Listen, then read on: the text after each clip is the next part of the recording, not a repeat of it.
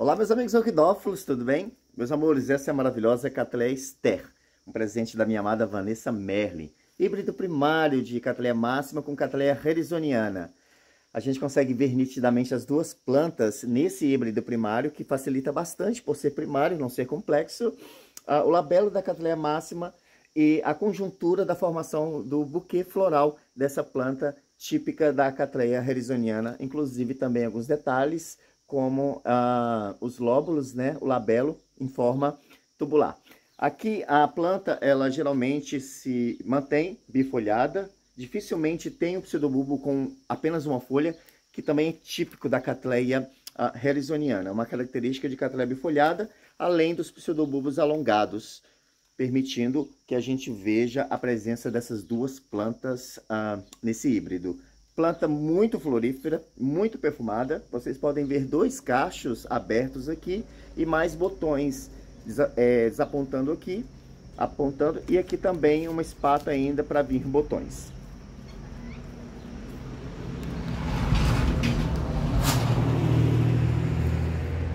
A qualidade de cultivo da sua orquídea vai permitir que você tenha esse tipo de resultado. Essa planta está comigo desde Vamos ver aqui a plaquinha.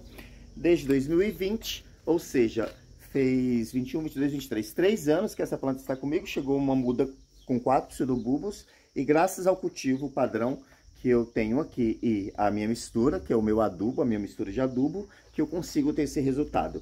A planta já precisa de um replante urgente, porque já está saindo para fora do vaso e agora é cuidar melhor dela para que cada ano ela possa me agraciar com mais floração. Deixa o like.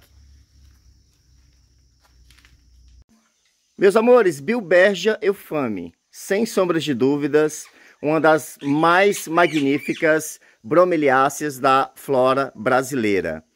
E para mim é a minha preferida porque eu amo esse conjunto, onde a haste floral fica pendente em forma de cálice e permite que o beija-flor possa vir polinizá-la.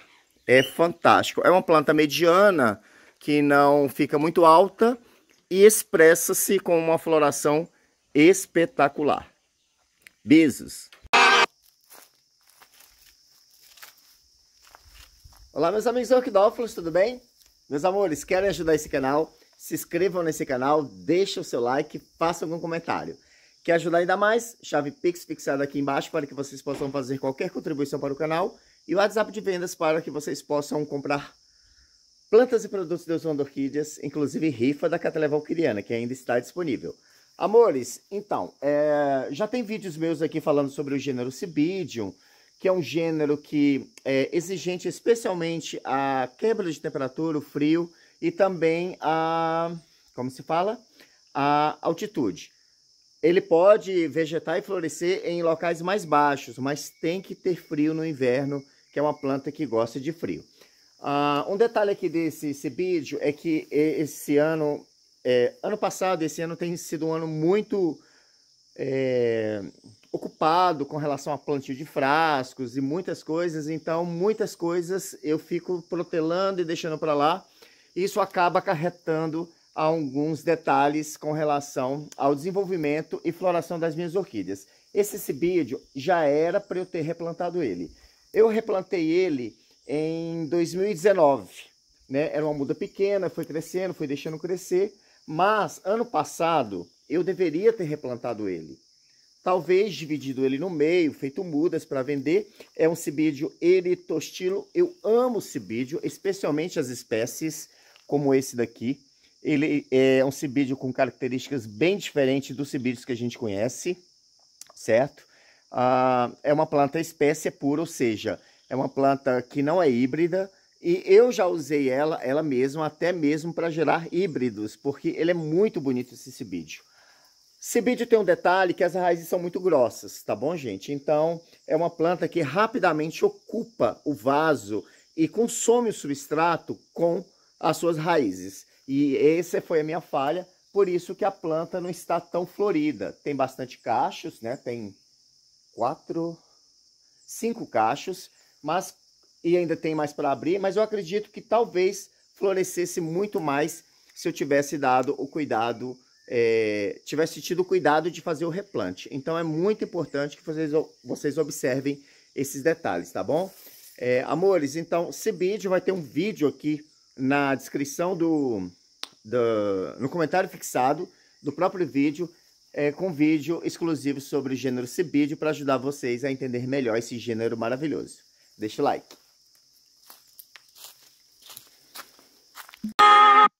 Meus amores, aqui nós temos uma Sophrolelioplateia Rusk Boy. A maioria das plantas é, desse híbrido apresentam-se geralmente de cor amarela.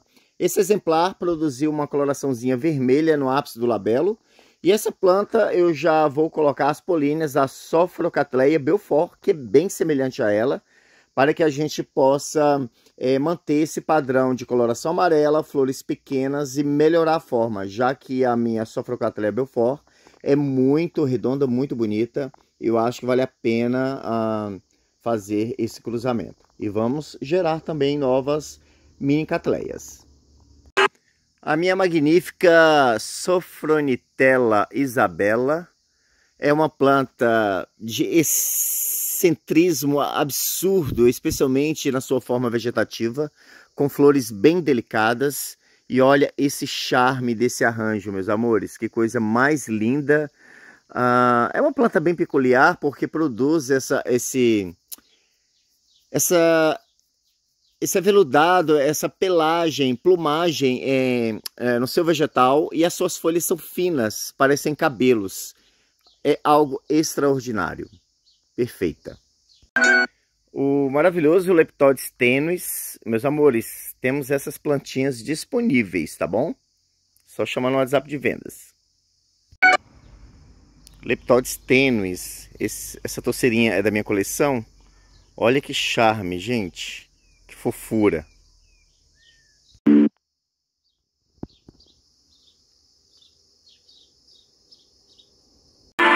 Meus amores, algumas catelés valquirianas ainda à venda, sem contar a rifa que está rolando, né, de catelé valquiriana.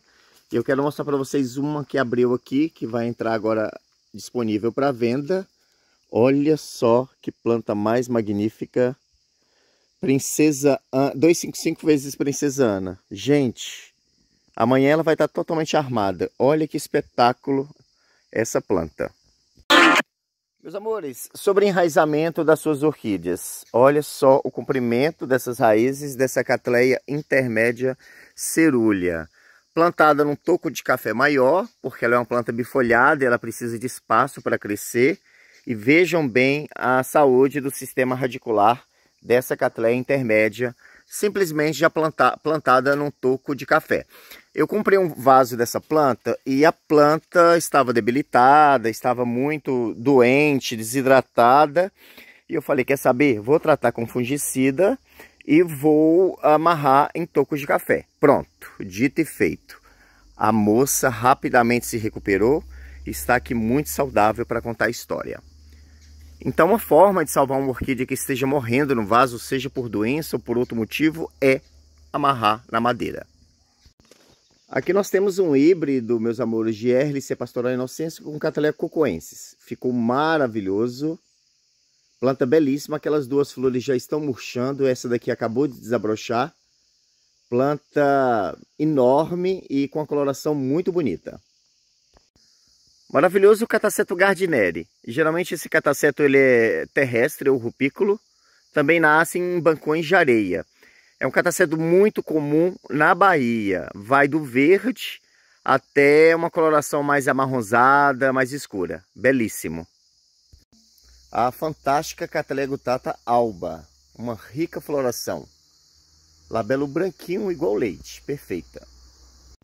Maravilhosa estapélia Singe, um presente do meu amor, Márcia Barbosa, de Vinhedo, São Paulo. Obrigado, meu anjo, belíssima.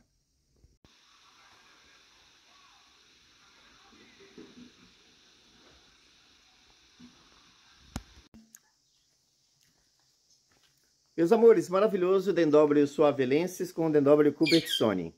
Um híbrido fantástico que foi trazido do exterior pela Orquidário AWZ uma floração magnífica e o mais interessante desse dendróbio é que ele não para de florescer. Olha que floração mais rica. Depois do replante, a planta deu uma reagida muito boa, e é claro, com a minha misturinha mágica, o meu adubo, a minha mistura quer dizer, e ela tem respondido muito bem. Já tenho feito algumas cápsulas e agora vou cruzar novamente essa planta com outro dendróbio para que a gente possa ter uh, algumas plantas bem especiais aí para a coleção de vocês. Beijos, deixa o like.